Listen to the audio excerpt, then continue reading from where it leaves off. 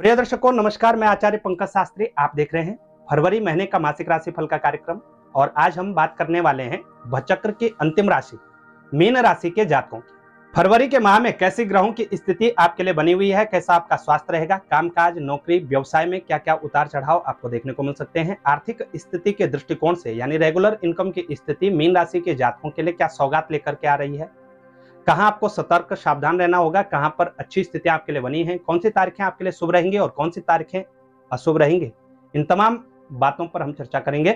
प्रिय दर्शकों राशि फल का कार्यक्रम शुरू करने से पहले आपको ये बताते चले राशि फल का कार्यक्रम आपकी जन्म राशि, चंद्र राशि पर आधारित है।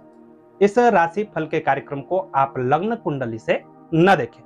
चलिए शुरू करते हैं। सबसे पहले एक नज़र डालते हैं हम मीन राशि के जातकों की ग्रह गोचर स्थिति पर। संपूर्ण फरवरी के माह में ग्रहों की स्थिति मीन राशि के जातकों के लिए कैसी बनी हुई है? मीन राशि के जो स्वामी ग्रह हैं, वो हैं देवगुरु बृहस्पति और देवगुरु बृहस्पति आपके लिए द्वितीय भाव में स्थित है। मेष राशि में संचरण कर रहे हैं। राहु मीन राशि में ही स्थित है, लग्न भाव में संचरण कर रहा है। सूर्य बुद्ध मकर राशि में लाभ भाव में स्थित है, शुक्र और मंगल। कर्म भाव, दसवें भाव में धनु राशि में संचरण कर रहे हैं। शनिदेव की बात करें तो कुंभ राशि के अंतर्गत बारहवें भाव में स्थित है। जबकि केतु की बात करें हम, केतु संपूर्ण फरवरी के माह में कन्या राशि के अंतर्गत सातवें भाव में स्थित रहने वाला है। चंद्रमा मासारंभ में तुला राशि के अंतर्गत होंगे। उसके उपरांत चंद्रदेव क्योंकि बहुत गतिशील ग्रह हैं तो ये राशि परिवर्तन करते रहते हैं। इनकी चर्चा हम बाद में करेंगे। प्रिय दर्शकों, एक स्थिति मीन राशि के जातकों की कुछ इस तरह की बन रही है। इसी ग्रह गोचर स्थिति के भी चार ग्रहों का परिवर्तन होगा। कब, कहाँ पर और कैसे ये परिवर्तन होगा और क्या क्या स्थितियाँ आपके लिए बनने जा रही हैं, इस पर भी हम एक नज़र डालते हैं। सबसे पहला जो परिवर्तन होगा, पाँच फरवरी 2024 को होगा। पाँच फरवरी को मंगल देव राशि परिवर्तन कर जाएँगे। कर्म भाव को छोड़ करके लाभ भाव में स्थित होंगे मकर राशि में। मंगल की उच्च राशि है तो कहीं ना कहीं इस भाव से संबंधित लाभ आपको अवश्य मिलने वाले हैं।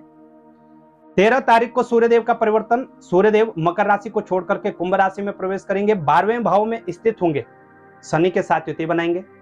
यहाँ आपको सतर्क सावधान रहना होगा। 12 तारीख को शुक्रदेव का परिवर्तन होगा। शुक्रदेव भी राशि परिवर्तन कर जाएँगे। धनु राशि को छोड़ करके मकर राशि में प्रवेश करेंगे और 20 तारीख को अंतिम परिवर्तन बुद्ध देव का होगा। बुद्ध देव भी मकर राशि को छोड़ करके कुंभ राशि में प्रवेश कर जाएँगे। प्रिय दर्शकों, वही हम बात चंद्रमा की करें तो चंद्रमा बहुत ही गतिशील ग्रह है। ये मात्र दो से सवा दो दिन के भीतर ही अपनी राशि परिवर्तन कर देते हैं।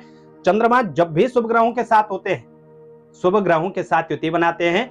या शुभ भाव में संचरण करते हैं, जहाँ पर एक कारक होते हैं तो निश्चित ही ये पॉजिटिव रिज़ल्ट देते हैं। लेकिन वही चंद्रमा जब क्रूर ग्रहों के साथ युति बनाते हैं, जन्म पत्रिका में, तीन, छह, आठ, बारह इत्यादि क्रूर भाव में स्थित होते हैं तो कहीं ना कहीं नकारात्मक स्थितियाँ देने का कार्य भी करते हैं, यानी नेगेटिव रिज़ल्ट भी प्रदान करते हैं। और फल स्वरूप एक माह के भीतर, छह से आठ दिन तो हमें बहुत अच्छे देखने को मिलते हैं, जब हमें कार्य क्षेत्र से हो, व्यवसाय के क्षेत्र से हो, आर्थिक स्थिति के क्षेत्र से हो या पारिवारिक क्षेत्र से, हर जगह से लाभ देखने को मिलता है, लेकिन छह से आठ दिन ऐसे भी अवश्य देखने को मिलेंगे जब हमें हर क्षेत्र से नकारात्मकता दिखाई देती है नेगेटिविटी दिखाई देती है। तो ऐसे कौन सी तारीखें रहने वाली हैं जिन तारीखों में आपको हानि होगी? इस पर हम चर्चा करें, लेकिन उससे पहले आपको बता देते हैं, फरवरी माह की लाभप्रद तारीखें। फरवरी के माह में मीन राशि के जातकों को छह सात, चौदह, पंद्रह, सोलह, सत्रह, इक्कीस और बाईस। ये तारीखें शुभ तारीखें रहेंगी। निश्चित ही आपको लाभ देने वाली तारीखें होंगी। वहीं आठ, नौ, बारह, तेरह, तेईस, चौबीस, छब्बीस, सत्ताईस, अट्ठाईस और उनतीस फरवरी को आपने विशेष रूप से सतर्क सावधान रहना है। शेष तारीखें आपके लिए सामान्य तारीखें रहेंगी। प्रिय दर्शकों, ये तो रही मीन राशि के जातकों की संपूर्ण फरवरी माह की ग्रह गोचर स्थिति। अब इस ग्रह गोचर स्थिति के बीच सबसे पहले बात कर लेते हैं मीन राशि के जातकों के स्वास्थ्य की। स्वास्थ्य के दृष्टिकोण से कैसी स्थिति मीन राशि के जातकों के लिए बनी हुई है?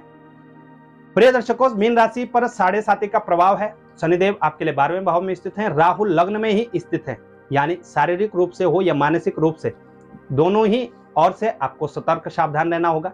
मानसिक तनाव, डिप्रेशन अत्यधिक हो सकता है। पारिवारिक कलह क्लेशों की वजह से आप परेशान रह सकते हैं। मन व्यथित हो सकता है। इसके साथ साथ जब सूर्य और शनि की युति बनेगी तो कहीं ना कहीं आधा सीसी का दर्द आपको परेशान कर सकता है। नेत्रों से संबंधित समस्याएँ, त्वचा से संबंधित समस्याएँ आपको देखने को मिल सकती हैं। अच्छे स्वास्थ्य के लिए आपको निरंतर शनिदेव की आराधना अवश्य करनी है।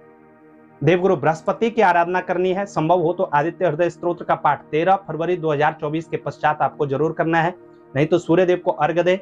ओम घृणी सूर्याय नमः। इस मंत्र का आप जप करिएगा। निश्चित ही स्वास्थ्य में आपको लाभ देखने को मिलेंगे। दर्शकों बात आपके करियर की करें कार्य क्षेत्र की। तो जन्म पत्रिका में दसवां जो भाव है, वह हमारा कर्म का भाव है। और मीन राशि के जातकों के लिए दसवें भाव के स्वामी देवगुरु बृहस्पति ही बनते हैं। यानी आपके राशि स्वामी देवगुरु बृहस्पति ही आपके कर्म भाव के स्वामी बनते हैं। दसवें भाव में शुक्र और मंगल की स्थिति है। पाँच फरवरी को मंगल भी यहाँ से परिवर्तन कर जाएँगे और बारह फरवरी को शुक्र भी परिवर्तन कर जाएँगे। कार्य क्षेत्र के दृष्टिकोण से देखें तो प्रिय दर्शकों, सौम्यता आपके अंदर आने वाली है, फरवरी के माह में। पूरा परिश्रम आपका होगा, लेकिन लाभ कोई और लेगा। ऐसी स्थितियों से आपको ज़रूर बचना होगा।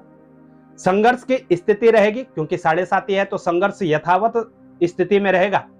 परिश्रम खूब करेंगे, खूब पसीना बहाएँगे, लेकिन कहीं ना कहीं कार्य क्षेत्र में उस मुकाम तक नहीं पहुँच पाएँगे जो आपने अपने लिए एक मुकाम सेट किया था। उसको लेकर के आपने थोड़ा सा सतर्क सावधान रहना है। किसी भी प्रकार की लापरवाही से ज़रूर बचिएगा। यदि आप मीन राशि के जातक हैं तो मीन राशि के जातक अक्सर थोड़ा आलसी होते हैं। आलस से आपने अवश्य बचना है।